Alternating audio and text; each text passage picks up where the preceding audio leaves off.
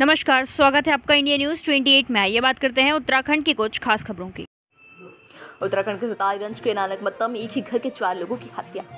नानक मत्ता थाना क्षेत्र में आज उस वक्त हड़कंप मच गया, जब पुलिस को ये सूचना मिली कि चार लोगों की हत्या हो गई है। हालाँकि पुलिस को अभी वह हत्या के कारणों का पता नहीं चल पाया। वहीं हत्या की सूचना मिलने के बाद जिलाधिकारी युगल Kishore Panth, SSP Udham Singh, Nagar Dilip Singh Kunwar SP city Mamta Bohra समेत तमाम आला अधिकारी मौके पर पहुँचे। साथ ही एसएससी उद्यम सिंह, नगर दिलीप सिंह कंवर ने घटनास्थल का जायजा लिया। पुलिस मामले की जाँच में जुट गई है। नानक मत्ता के देवहा नदी के पुल के पास झाड़ियों में दो शव मिले थे, जिसके बाद मौके पर थाना पुलिस दल बल के साथ पहुँच गई। शव की पहचान अजय रस्तोगी, पुत्र शिव शंकर रस्तोगी और उदित रस्तोगी, पुत्र अनिल रस्तोगी के रूप में हुई है। तो वही मृतक अजय रस्तोगी घर से भी दो शव बरामद हुए हैं, जो उसकी माँ और नानी का है। जानकारी के अनुसार शंकर रस्तोगी की ज्वेलरी की दुकान है जो उनकी पत्नी आशा देवी और माँ सन्नो का शव घर से ही बरामद हुआ है। नानक मत्ता बाईपास में झाड़ियों में मिले शव की पहचान मृतक अजय रस्तोगी के भाई आदेश रस्तोगी ने की है। झाड़ियों में मिले शवों को, शवों में चोट के निशान भी देखे गए हैं। इस घटना के बाद शहर का बाज़ार भी बंद कर दिया है। वहीं मौके पर नानक मत्ता विधायक प्रेम सिंह राणा पहुँचे। सितारगंज से बिट्टू अंसारी की रिपोर्ट। हमको जानकारी मिली है भाई।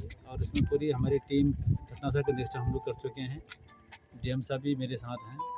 हमारी टीम ने निरीक्षण कर लिया है। फॉरेंसिक हमारे जो एक्सपर्ट्स हैं, वो भी आए हुए हैं। हमारा जो स्नेपर डॉग है, वो भी पहुँच गया है। और पूरे दोनों घटनास्थल और इसके तह में जाकर के हम लोग जाँच कर रहे हैं। दोनों घटनास्थलों को देख करके ऐसा लगता है कि ये मर्डर जो है रंजिशन हुआ है। ठीक है? उसके कुछ क्या क्या आयाम हो सकते हैं रंजिश के वो हम देख रहे हैं और बहुत जल्द इसका जो है अनाउंस इसका खुलासा किया जाएगा सर क्या इसमें कोई लूट या डकैती वाला जो उस पर कहना बहुत जल्दीबाजी होगी। घटनास्थल को देखे ऐसा लगता है कि उस तरह का एक उसको उस उस तरह का रूप दिया जाने का प्रयास भी हो सकता है।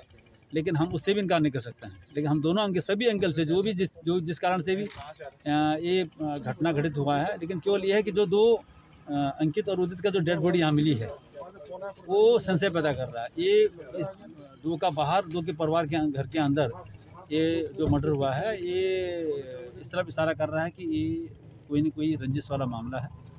और लूट डकैती या अन्य कोई इस तरह का जो मामला उसको कलर देने का प्रयास हो सकता है बदमाशों के द्वारा। लेकिन जो भी है इसका बहुत बहुत वर्कआउट लेंगे ज़्यादा मैं कुछ मैं भाई उसका हम की तहकीकात कर रहे हैं तो उसके बाद जानकारी हो पाएगी कि- लेकिन बिल्कुल तह में जाकर के जानकारी कर लेंगे।